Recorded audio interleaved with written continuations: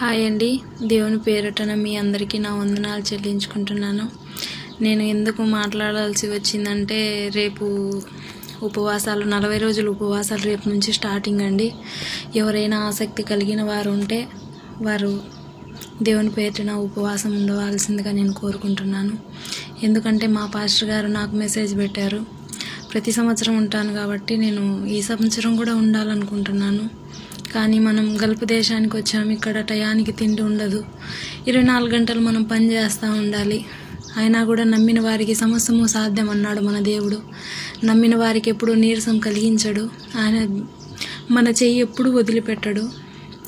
మీలో ఆసక్తి కలిగిన వారు అన్నగారు తమ్ముళ్ళు చెల్లెళ్ళు అక్కగారు ప్రతి ఒక్కరూ ఉపవాసం ఉండండి.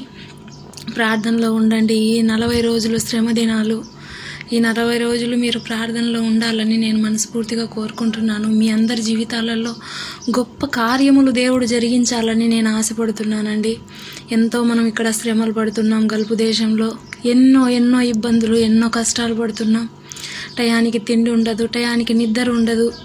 అయినా కూడా మనం కష్టపడుతున్నాం. ఆ శక్తిని బలాన్ని ఇచ్చిన దేవునికి కృతజ్ఞతలు చెల్లించుకుంటూ ఈ నలభై రోజులు ఉపవాస ప్రార్థనలో మీరందరూ పాల్గొంటారని నేను నమ్ముచున్నానండి.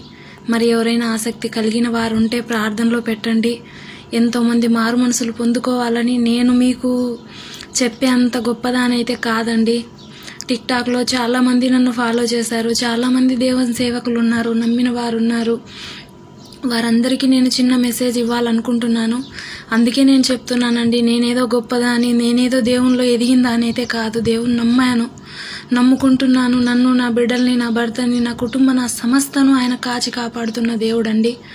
నాకు ఐదు మంది బిడ్డలు నా ఐదు మంది బి- బిడ్డలను నేను ఇక్కడికి వదిలిపెట్టి వచ్చానంటే అది దేవుడి మీద భారం వేసే.